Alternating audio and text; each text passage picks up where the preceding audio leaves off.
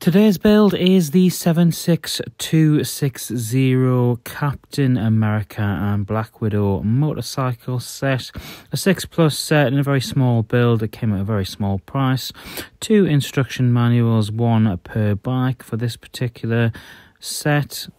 And the one thing I'll say whilst the build is ongoing on screen is I think this set is a fantastic gift set for anybody who's a Marvel fan, and particularly young children. Like I said, it is a 6 plus set, and I think that it is a very good starting point for a young Marvel fan who potentially wants to get into Lego. It's quite a simple sort of build, and um, with a smaller sort of amount of technique with the wheels of the bikes there as well.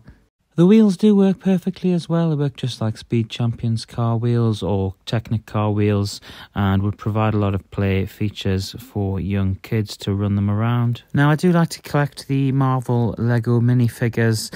Um, since getting the magazines for about a year or so, I do seem to try and grab as many of the minifigures as possible. But here are the built bikes. You've got Black Widow, Natasha's there with the two, I'll dub as lightsabers on the back there.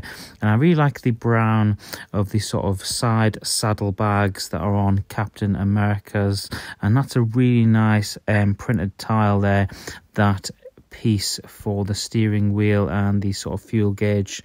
Two head pieces on Natasha here. Uh, you've got the smiley face and the grimace that I'm keeping it on um, as a display. Again with Steve Rogers, the the shield looks great and you've also got the smiley very captain america-esque face as well as the more stern face.